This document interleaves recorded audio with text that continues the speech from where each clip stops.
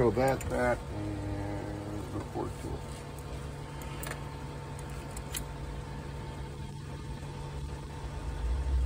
All right, this is off of our Range Rover. We took the back off. There's an opening on the back for the wafers. Usually we take the Lishi, we put it in there and we'll pick it. For a shortcut though, you could take a Lexus blank and you can mill it and you could stick one in the top, one in the bottom.